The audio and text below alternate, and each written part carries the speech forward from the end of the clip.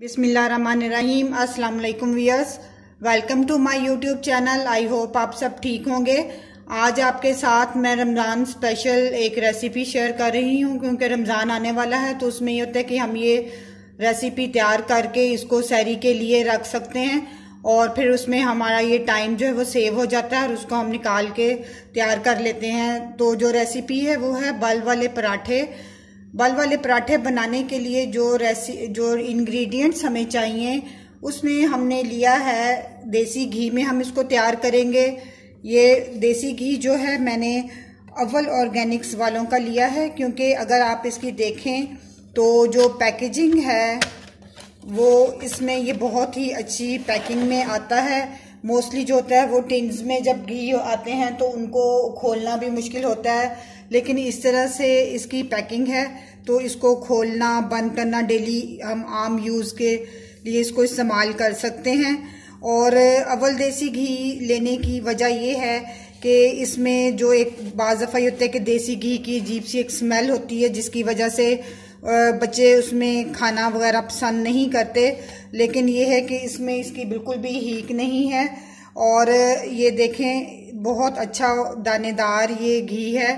और इसमें कोई भी आप रेसिपी बनाएँ तो वो बहुत हेल्दी और अच्छी बनती है। और रमज़ान में ये होता है कि अगर हम देसी घी से पराठे तैयार करके शहरी में खाएँगे तो उससे हमारा सारा दिन जो है वो काफ़ी एनर्जेटिक गुजरता है। और मोस्टली यही समझा जाता है कि जो घी वगैरह हैं, वो फैट्स जो हैं, वो हेल्थ के लिए अच्छे नहीं हैं। लेकिन देसी घी और स्पेशली अव्वल देसी घी में चीज़ बनाने का कोई भी रेसिपी बनाने का फ़ायदा ये होता है कि इस देसी घी में vitamin A vitamin D vitamin E और विटामिन के है। इससे ये हमारी जो इम्यूनिटी होती है, वो काफ़ी स्ट्रॉन्ग हो जाती है और हमारी स्किन के लिए, हमारे हेयर के लिए बहुत अच्छा है देसी घी। और हेल्थ जो ओवरऑल हेल्थ है, वो हमारी अच्छी होती है और जो स्टबन फैट होती है, ये उसको भी बर्न करके हमारे वेट लॉस के लिए भी बहुत हेल्पफुल होता है। और हमारे जो जॉइंट्स हैं, उनको ये लुब्रिकेट करता है, उससे हमारे जो जोड़ हैं, जो जॉइंट्स हैं, वो जो हैं, वो स्ट्रॉन्ग हो जाते हैं। तो इसलिए हम जो अपने आज बल वाले पराठे बनाएँगे, उसको हमने तैयार करना है अव्वल ऑर्गेनिक देसी घी में, जो कि नंबर वन और बेस्ट घी है। और इससे बनाने से होगा, ये बच्चे भी शौक से खाएँगे, इसमें कोई हीक वगैरह जो स्मेल है वो इस तरह की नहीं आएगी कि बच्चे उसको खाना पसंद ना करें। तो इसलिए जो हमारा मेन इंग्रेडिएंट है, वो हमने अव्वल देसी घी ले लेना है। इसमें हम लेयर्स में जो है ये अव्वल देसी घी लगाएँगे। बाकी के जो इंग्रेडिएंट हैं, उसमें हमने वन कप मैदा ले लिया है ऑल पर्पज़ फ्लोर यानी कि और वन कप ही हमने जो नॉर्मल आटा है, आप फाइन आटा लेना चाहें वो ले लें। मैंने रेगुलर जो आटा है, चक्की का वो लिया है। और डो तैयार करने के लिए one fourth cup cooking oil ले लिया है। वन फोर्थ टीस्पून सॉल्ट लिया है। और बाकी हमने लेना है पानी, जिससे कि हम अपनी डो तैयार करेंगे। तो सबसे पहले चले हम पराठों के लिए आटा गूंदते हैं। बालदार पराठों का आटा तैयार करने के लिए हमने एक बाउल में सबसे पहले मैदा डाल देना है। साथ में इसमें हमने जो नॉर्मल आटा, रेगुलर आटा लिया था, वो डाल देना है। आप फाइन आटा यूज़ कर सकते हैं। फिर इसमें हमने one fourth teaspoon salt डालना है। वन फोर्थ कप हमने कुकिंग ऑयल डाल देना है।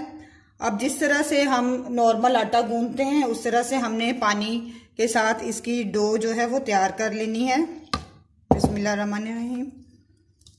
इसको मिक्स करना है और हमने बहुत एक स्मूथ इसकी डो जो है वो बना लेनी है। फिर हम इसके जो लेयर्स वगैरह बनाएँगे, उसमें हमने अव्वल देसी घी लगाएँगे, जो कि ऑर्गेनिक है और अव्वल की जो प्रोडक्ट्स हैं, ये आप ऑनलाइन भी परचेज कर सकते हैं। मैं डिस्क्रिप्शन बॉक्स में इनका नंबर आपको दे दूँगी और आप ये रमज़ान के लिए देसी घी मंगवाएँ। इसमें आप पराठे, पूरियाँ, समोसे, कोई भी सहरी और अफ्तारी की जो है, अपनी तैयार करें रेसिपीज़ और खाएँ, क्योंकि ये है कि उसमें हमें हमने इबादत करनी होती है रमज़ान में और हमें उसके लिए एनर्जी की ज़रूरत होती है।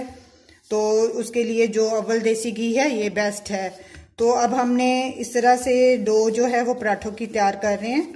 जिस तरह से हम नॉर्मल आटा गूंदते हैं, उस तरह से हमने ये आटा गूंद लेना है। अव्वल देसी घी में बालदार, मज़ेदार पराठे तैयार करने के लिए हमने डो जो है वो हमारी ऑलमोस्ट रेडी हो चुकी है। हमने जिस तरह से नॉर्मल आटा गूंदना है, इस तरह से ये पानी लगाते जाना है और इसको गूंद लेना है। अब ये हमारी डो जो है वो तैयार होने वाली है और अब हमने इसको कवर करके 20 मिनट के लिए रख देंगे। उसके बाद हम इसके बल वाले पराठे तैयार करेंगे। तो दो हमारी रेडी है। हम इसे कवर करेंगे और 20 मिनट के लिए रख देते हैं। पराठों का आटा रखे, हमें 20 मिनट हो गए हैं और ये रेडी हो गया है अब पराठा बनाने के लिए। तो हमने डो को ऐसे रखना है, इसके हमने बॉल्स बना लेने हैं पहले। जितना बड़ा आपने पेड़ा बनाना है, उस साइज़ में हम एक पेड़ा तैयार कर लेंगे इस तरह से।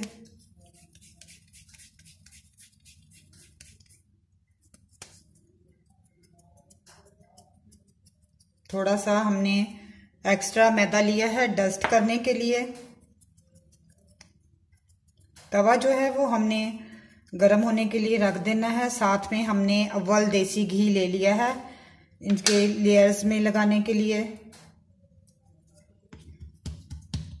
आप अपने चॉइस के हिसाब से बड़ा अगर आपने पराठा बनाना है तो बड़ा बना लें, अगर छोटा बनाना चाहते हैं तो छोटे बना लें। इस तरह से हमने एक इसका रोटी बेल लेनी है। बारीक एक रोटी बेलने के बाद हम एक ब्रश की मदद से इस पराठे के ऊपर अव्वल देसी घी की इस तरह से एक लेयर लगाएँगे। सारा हमने ऊपर एक देसी घी जो है अव्वल का वो अप्लाई कर देना है। अव्वल की जो है प्रोडक्ट्स ऑर्गेनिक इनमें इनका शहद भी अवेलेबल है। अगर आप इनको ऑनलाइन मंगवाना चाहते हैं, शहद या देसी घी तो आप इनको ऑनलाइन ऑर्डर करें और इनकी क्विक सर्विस है। और आप घर बैठे ऑर्गेनिक प्रोडक्ट्स जो हैं वो इंजॉय करें। और इस तरह से हमने पराठे के ऊपर सारा घी लगा दिया है। अव्वल देसी घी लगाने के बाद अब हम इसके ऊपर मैदा डस्ट करेंगे।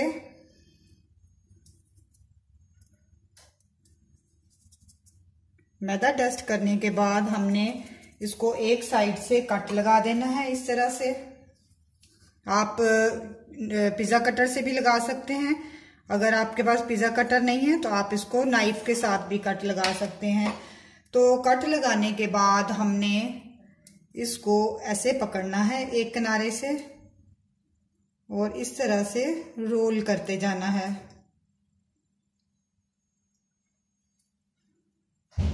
ऐसे। इस तरह से हमने पूरा जो पराठा है उसको रोल कर लेना है, उसकी ये जो है वो लेयर्स बन जाएँगी। अब ये हमने पराठा जो है वो रोल कर लिया है। अब आप इसकी लेयर्स को हम इस तरह से खोल लेंगे।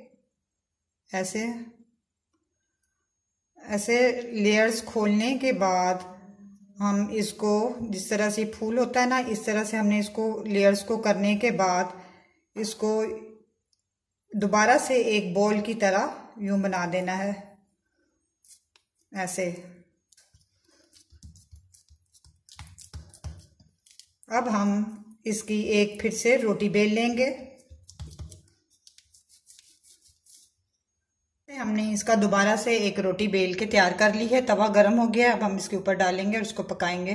तवा हमारा गर्म हो गया है। इसके ऊपर हमने जो पराठा बेला था, उसको डाल देना है। और हमने आँच जो है, वो बहुत ज़्यादा तेज़ नहीं रखनी। इसको हमने एक साइड से पहले पकाना है और बाद में हम इसके ऊपर अव्वल देसी घी लगाएँगे। हमने इसकी लेयर्स में भी ये लगाया था ताकि ये इसके, इसमें इसका बेस्ट अरोमा और इसको जायके के लिए तो अब हमने इसे एक साइड से पकने देना है। एक साइड से पराठा पक गया, हम इसे टर्न कर लेंगे। इस तरह से हल्का सा इसे प्रेस करेंगे। अब हम इसके ऊपर अव्वल देसी घी लगाएँगे।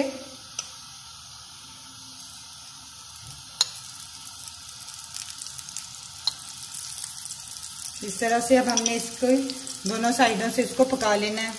अव्वल देसी घी से हमारे बालदार पराठे रेडी हो चुके हैं और ये देखें, इसकी बहुत अच्छी लेयर्स बनी हैं और बहुत अच्छा इसका अरोमा आ रहा है, बहुत अच्छी खुशबू है और बहुत ही मज़ेदार खाने अव्वल देसी घी में तैयार होते हैं।